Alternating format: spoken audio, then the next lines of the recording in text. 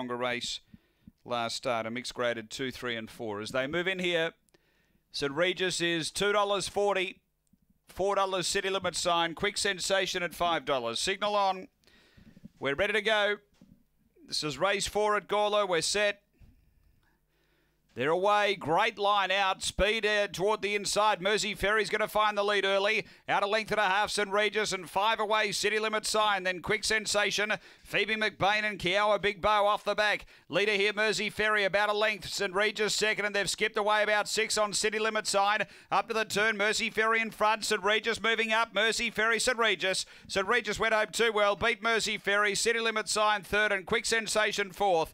Then Kiowa Big Bow and uh, Phoebe McBain was back at the end. The time here is around 23 and 10 after race number four. And uh, St Regis finishing too powerfully. Uh, number eight, Bob Isaacson for Jade Olenize Muda, a black dog, December 2015. Cosmic Rumble, Suki Susie. Number eight, uh, second to three, Mersey Ferry, Stephen Brook, a brindle dog, August 2015. Cosmic Rumble, Klinger. And number one, which is City Limit Sign, Kevin Bewley, a white and black dog, December 2015, Return the King Tarks Jewel.